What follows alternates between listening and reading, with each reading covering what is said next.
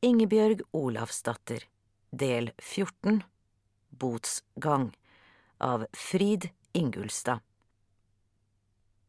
Kapittel 1 Borgmennene bar folket mellom seg over den ytre borggården og inn i bredestuen. Ingebjørg sprang gråtende etter.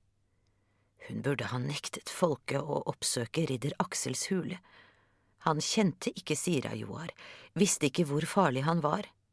Antagelig trodde han at prestene levde slik de prekte. Hun skulle ha fortalt ham hele historien. Han burde fått vite at Sira-Joar hadde stengt henne inne i fangekjelleren den gangen. Hun skulle også fortalt ham at fru Tora hadde forsøkt å ta henne av dage. Da ville han forstått hva slags mennesker han hadde med å gjøre.